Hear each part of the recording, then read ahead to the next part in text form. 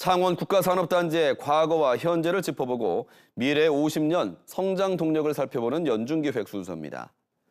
창원 국가산단의 생산액은 경남 전체의 절반에 이를 정도로 경남 경제 성장의 견인차 역할을 하고 있는데요. 이 같은 저력은 과거 50년의 서바이벌 게임에서 생존 전략을 찾은 기업들의 혁신으로 다져졌습니다. 직원 15명으로 출발해 경남의 일자리 3천 개를 만들기까지 조선업에서 풍력, 에너지 설비 전문 기업으로 거듭난 한 중소기업의 비결을 짚어봅니다.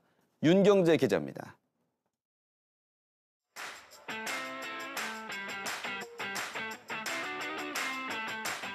(1989년) 창원 국가산단에 자리 잡은 해양 플랜트 제작 업체입니다. 당시 전 직원 해봐야 (15명) 남짓 선박 플랜트 블록을 만들어 거제의 대형 조선소에 납품하던 영세한 규모의 협력업체였습니다. 그랬던 곳이 지금은 창원 공장 직원만 700명, 통영과 사천의 자회사까지 더하면 3,000명이 일하는 중견 기업으로 성장했습니다.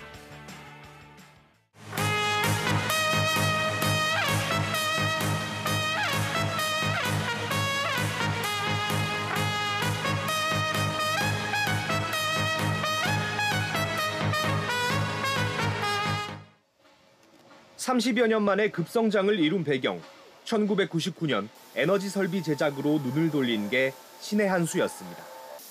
기존의 역량을 LNG선 특수설비인 펌프타워 생산에 집중한 겁니다. 펌프타워는 바다에서 시추해 급속도로 냉각한 액화 천연가스를 선박에 싣는 LNG선의 핵심 설비입니다. 스테인리스 특수 용접 기술을 활용해 지금은 이 펌프타워를 세계에서 가장 많이 잘 만드는 특화 기업이 됐습니다. 162도로 냉각된 천연가스가 흘러가는 라인이기 때문에 극저온 상태를 견뎌야 되는 그런 구조물이라서 뭐 일반적인 그 경력으로는 만들 수 없다고 볼 수 있습니다. 1990년대 누구도 선뜻하지 못했던 에너지 설비로의 도전은 지금 열매를 활짝 맺고 있습니다.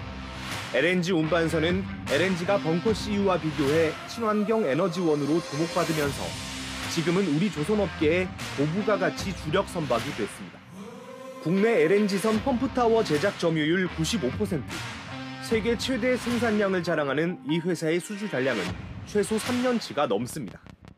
고부가 가치 선박으로 생산량이 굉장히 많이 늘어가고 있는 과정에 있고 그다음에 시장도 제가 알기로는 2030년도까지 굉장히 그 LNG 선박에 대해서는 수준 물량이 많이 나올 거로 지금 확인되고 있습니다.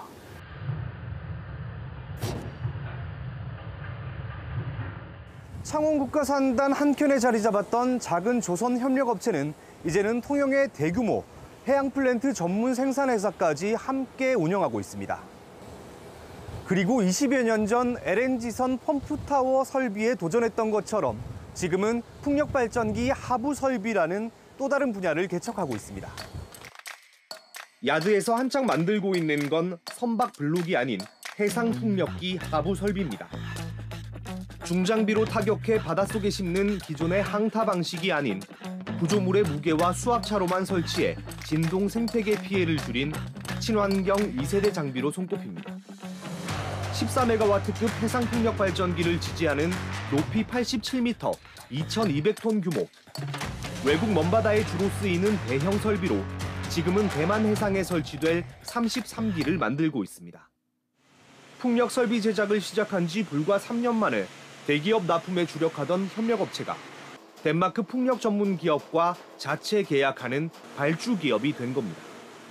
파도나 바람에 120m 정도 되는 어, 풍력 발전기 날개, 브리드의 그 진동을 견뎌야 되는 그다음에 그 바닷물, 해수에 견뎌야 되는 30년 동안 견뎌야 되는 내 부식성 이런 것을 갖춰야 되는 그런 구조물이라서 뭐 일반 회사에서 쉽게 접근할 수 없는 대형 크레인과 넓은 야드, 암벽 같은 시설과 용접 기술을 활용해 수십 년 하던 선박 제작을 넘어 풍력 설비 분야에 뛰어들었습니다. 업종 전환이 쉽지 않은 대기업 조선 3사의 틈을 비집고 자신들이 할 수 있는 블루오션에 뛰어든 겁니다.